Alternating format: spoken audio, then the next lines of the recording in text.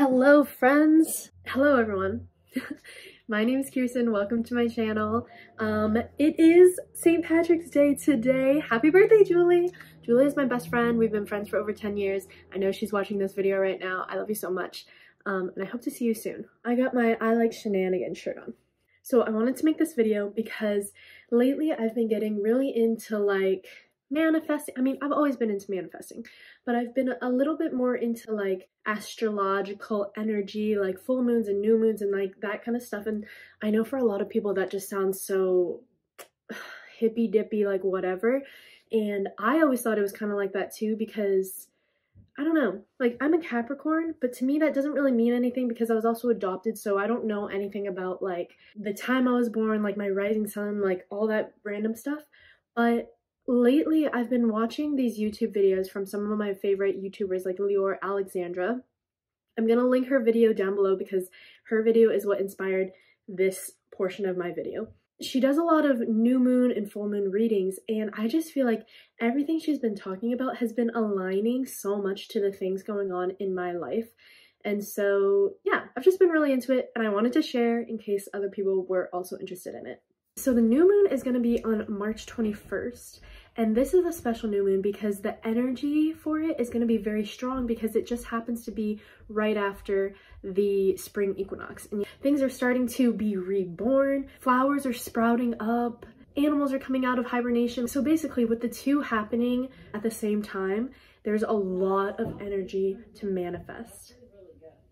Ah. I don't know if you can hear my parents. This means that there's like a lot of powerful energy to manifest the things that you like. Like this is the time to start thinking about the life that you want to live. This is the time to start those habits and stuff. So I have a few things that I took notes on from Leeor Alexandra's video. And then I also have some journal prompts that I used at the beginning of the year.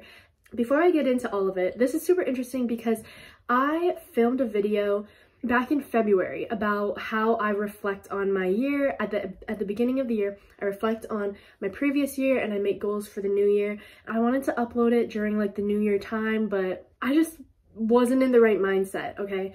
And so now I'm finally at that point where I want to upload it, like I'm ready, and it just happens to be the spring equinox. Like this is the time to start new things.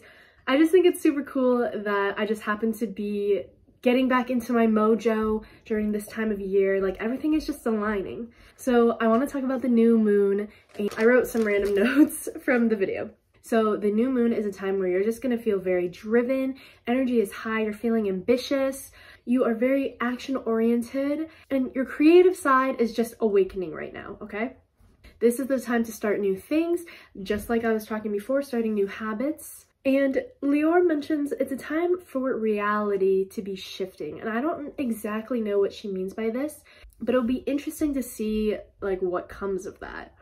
This is also a time to find peace within yourself and like a time to manifest the things that you want, but by manifesting the external things you may want, you have to come within yourself and think like, who am I? What do I want? What are my values and all of that kind of stuff. She also mentions how in the past there might have been something confusing in your life that you suddenly gained awareness of and around the time of the last full moon, you may have gained more clarity on it. And so now, during our new moon, this is the time to take action on that. So let's say if it was a problem, you finally realize like what you have to do about it, like what, what the problem is and what you can do. And now is the time to take that action and actually do that. And yeah, and so with the spring equinox, now this is the time where your manifesting energy is very strong. So around the 21st to the 23rd, you want to take extra time to focus on the dream life that you want. You want to start manifesting those things. You don't want to speak badly about anything. You don't want to speak bad,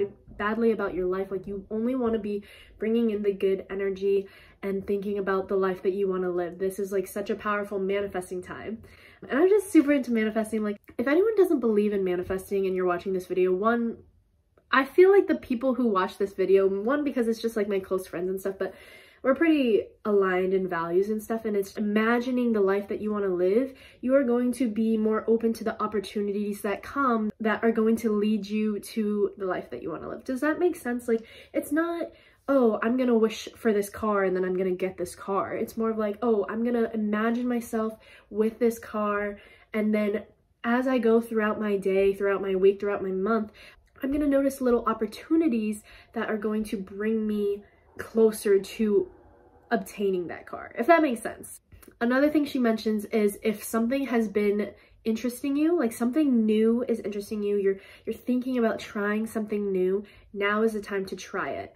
Um, and this could be like a career change, or this could be just trying like a new sport or a new hobby, or it could even be a new interest in a person. Like maybe you're meeting someone that, someone that's very different from someone you would usually go for, like a new friend or a relationship partner or anything like that. Like this is a time to just try it. And then she also talks about how there's a few things that you might want to watch out for during this time. Being impulsive was one of them, which I found very interesting because I have been extremely impulsive the last couple of days. Um, I'm trying to find a place to live on Long Island right now for the summer and for when I start my master's program. And it, it came to the point of like, I found one place that I thought was amazing. I rented it out and then I was like, wait, that's actually not going to work. And then literally today I came across a place and I was like, I called my dad. I was like, this is the place. Like, this is so great. And he was like, that literally wouldn't work with this. And so yeah, watching out for that impulsivity, just making sure you're aware of like what's going on, taking time to just like slow down and breathe and like think things through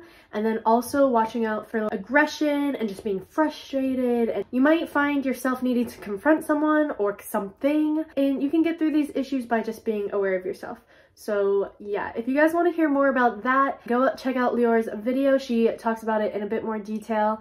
Um, and I just love them so much. So yeah, that's kind of the gist of this new spring equinox and new moon energy. It's just a time to start those new habits because this new moon in Aries is actually the beginning of our astrological year. And so the Gregorian calendar, which is what we go off of, where January is the new year, is completely different from the astrological year. And so that's why maybe some people don't resonate with making new habits during January. You might be more ready to start those new habits right now around springtime when things are just lightening up, you know?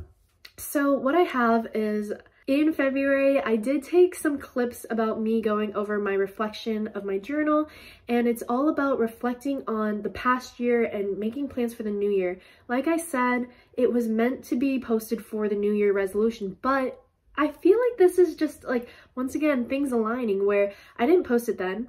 And now I'm finally getting to it because this is the more natural time for people to start making new habits and making changes and stuff. So it might not be the new year and these prompts are meant to reflect on the whole past year, but you can change them and turn them into reflecting on the last month. And you guys will see when you watch the rest of this video that it's very like reflecting on the past and thinking about the future and like what things you want to change and the goals and all of that. So yeah, that is about it for the spring equinox new moon talk. We're now gonna get into my old clips about my journal prompts and stuff and I really hope you guys enjoy. I just love this kind of stuff. I love reflecting and like looking in on myself. Um, so if you align with that and you resonate with that, please give me a big thumbs up, comment, subscribe, all of that kind of stuff. And yeah, enjoy the rest of the video. All right, guys, listen, I'm not even gonna lie. Ugh. I should be doing something else other than this, but this is one thing I've learned. Those days when you have things on your list that you want to get done, and no matter what you do, no matter how hard you try, you just keep procrastinating and doing anything you possibly can to not do what you want to do, even if you want to do it. Like, it's a weird thing, but anyway, on those days when you are resisting what you are trying to do, just go with it.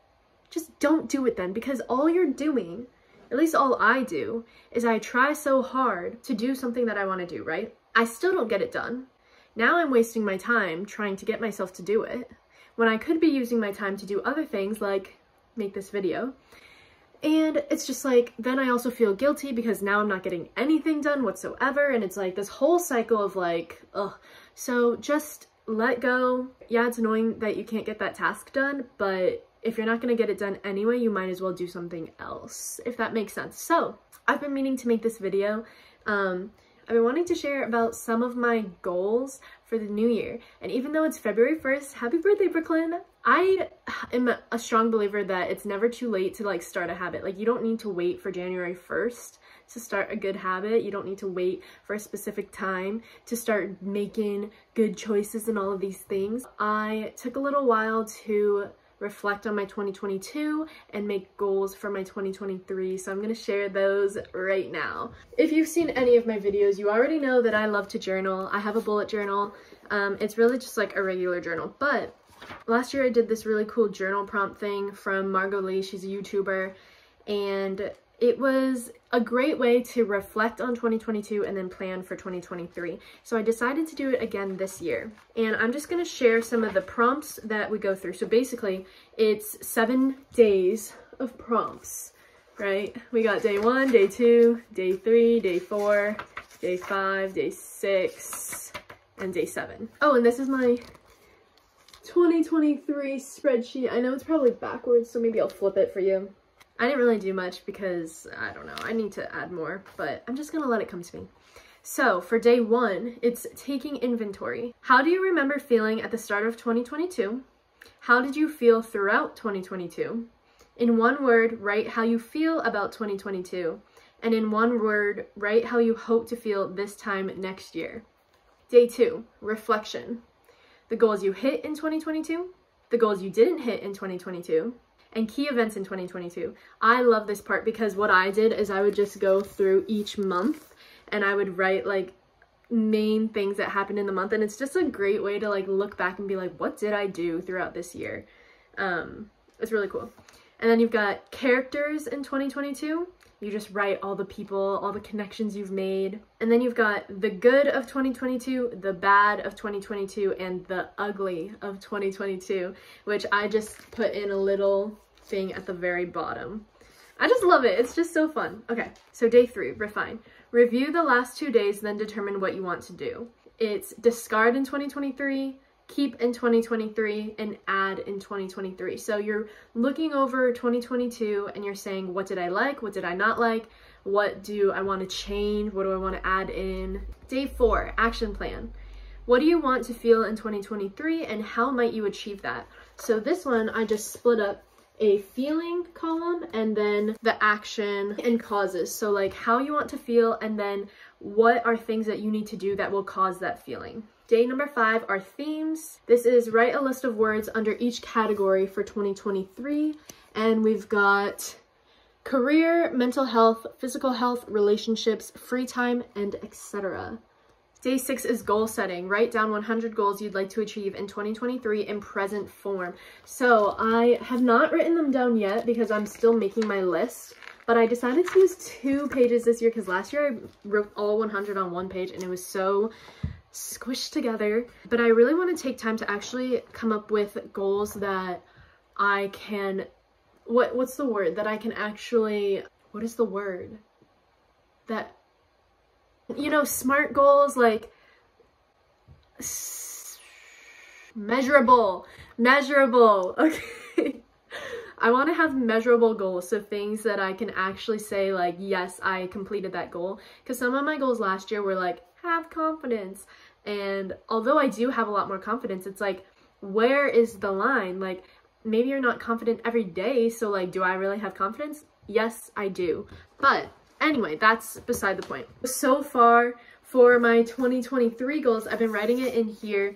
I've got 48 goals. And I've already done some of them, but they're just kind of like my bucket list goals for the year. So that's going to be really fun to come up with.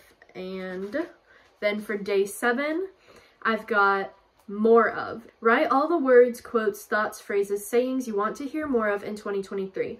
And I started with it. I'm going to turn it into kind of like my um, monthly sheets where I kind of like decorate nicely. I don't know how to word that. Anyway, where I just like write things that come to me. Some of the things I said are, you inspire me, your heart knows the way, run in that direction, choose connection, life is but a collection of moments, be present in each and every one of them, and when you look back, it will become clear that this was always the path you were meant to walk. That is like a little review on my journal. I really just wanted to share about it. Like, I know that it's already February, so people might not be doing that. Like that's kind of like a New Year's resolution type thing. But if you haven't reflected on 2022, like I encourage you to look at this. I will put the journal prompts down below in the description box because I just love it so much. It just, and it's just such a cool way to like look back on your year and say like, wow, I really did that. Like I really did that. I really met those people. I made all those connections. I accomplished that. Like I'm so proud of myself. I got through that, you know? Like I said, I don't think there's a wrong time to ever start habits. And actually one of my friends was telling me, he sent me this TikTok and it was something along the lines of like, why is it that January is the time when we start New Year's resolutions? Like yes, it's a new year, but January is the winter time, it's the cold season, it's a time where animals will start hibernation and stuff. So like, why are we using this as a time where we feel that we need to start all these new things? Like right now we need to just be working on ourselves to like exist and continue and just like slowly. But I kind of saw that and I was like, okay, I get that. He was saying like spring is the time because spring is like new beginnings, like everything's turning a new page and all that. And that makes a lot more sense. Energetically, it would make sense to start New Year's resolutions in the spring. And maybe that's why like, I don't know, the religion, like Lent, is it Lent? Wait, Lent? I don't know, when you give something up for a month. Clearly you can tell I'm not religious, but I guess that makes sense. Like you're trying something new and that's around the springtime, I'm pretty sure. I thought of that and I was like, that's so true, but also it doesn't have to be springtime either when you start new things. Like you can start something new anytime. You can choose to make a better choice for yourself at any point in your life, any time of day, any day in the year. So yeah, that's my two cents on it.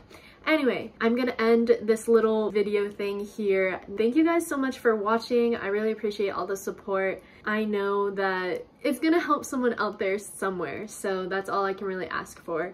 I really hope everyone has had a great start to their 2023.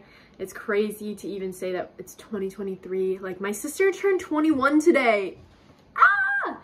Anyway, Okay guys, back to the present Kiersten. I hope you guys enjoyed this video even though it was over a month ago, I still, I remember like I had a lot of fun doing it.